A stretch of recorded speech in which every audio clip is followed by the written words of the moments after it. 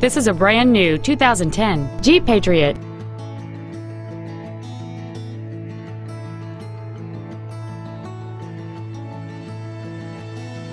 Its top features include heated seats, heater vents for rear seat passengers, a leather-wrapped steering wheel, and steering wheel mounted controls, heated side view mirrors, a CD player, a low tire pressure indicator, traction control and stability control systems, and it's easy to see why this vehicle is an excellent choice.